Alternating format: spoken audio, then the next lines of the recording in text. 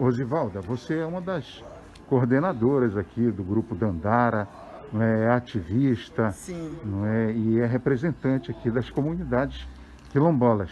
E nós gostaríamos que você eh, nos falasse um pouco sobre esse livro que está sendo lançado hoje aqui na Arkmo. Bem, de certa forma eu represento a, a arte comunidade de maneira geral, porque aonde tem um quilombola, ele, ele carrega em si todo uma, um, uma, um grau de representatividade. Sou pedagoga e eu achei assim essa ideia maravilhosa, né? Pois traz um, um, uma bagagem, né?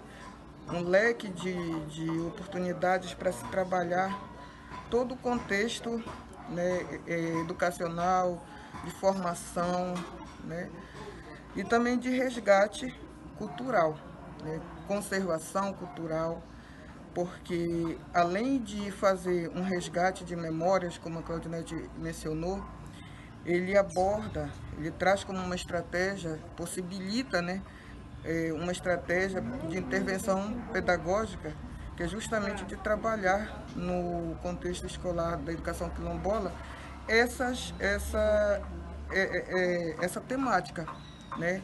valorizando o que é nosso, né? através da, das histórias né? que os nossos antepassados contavam, os nossos pais, nossos avós,